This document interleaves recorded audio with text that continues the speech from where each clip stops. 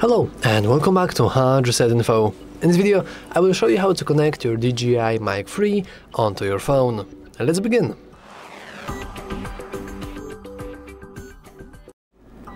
I am not going to lie, the process of doing that is quite complicated, but I will try to get through it as smooth as possible. First of all, let's get our receiver, let's turn it on. And when we turn it on for the first time and it's not connected to any kind of application, we should see this information that we need to, to scan QR code to download the app, then connect device for better wireless experience. So let's do just that. Let's go into the, our, uh, our camera, let's go into our Google Lens, and let's scan the QR code. So we are now transported into this site here and we can go and download android.app so let's let's maybe not sign in. Let's try to hit download once again.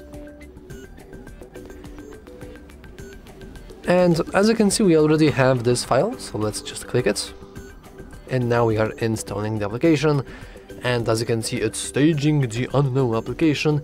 And just don't you worry it's it should be working now of course this is tutorial for every single android phone.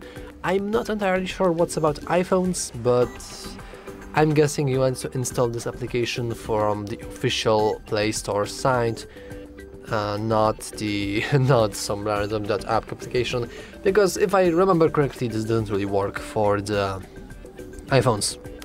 Okay let's open the application and we now see the DJI Mimo let's agree oh we can actually reject that's quite interesting let's go into do not consider and now we are loading resource file which should take as you can see pretty quick it doesn't really take that long, luckily. And now resource file loaded successfully. And finally we can connect to Capture. So let's try to connect. We have the ability to download and edit. And we have our profile. We also have some home screen design update information. But let's just ignore all of that. So let's connect to our device. We can go into confirm here. Let's go into the settings. So let's perform this swipe from the bottom to the uh, to the down from the top to the down let's scroll into connect to app here let's go into connect to app and connecting to app will disconnect from current devices. Let's go into confirm. And we are now ready to connect. So let's try to get into our bluetooth which should be right here. And we should be able to see the microphone. And we do. So let's go into DJI Mini 5 Pro. Let's go into pair. And after a moment we should be able to pair with our microphone so let's wait for a moment as you can see it does it is taking quite a lot long time so let let's cancel it let's go into once again and let's try to perform the pairing once again. Now the pairing, the microphone disappeared from the list, which is quite interesting. But we can try to ready to connect once again. Uh, as I said at the beginning of the video, the process of connecting to your phone is pretty complicated and this is the part I meant. Like, you want this to work, but it doesn't work. So it's quite annoying, so you don't really know what to do, which is quite unfortunate. Okay, so I have paused the recording and I now know what was my mistake. You do not really connect through here, instead you want to go into your application. That is not our application, this is our application. And while, while it's ready to connect, we simply click the... Oh, we didn't really had to click anything, but we want to click this icon at the bottom and now we see our microphone, so let's go into connect.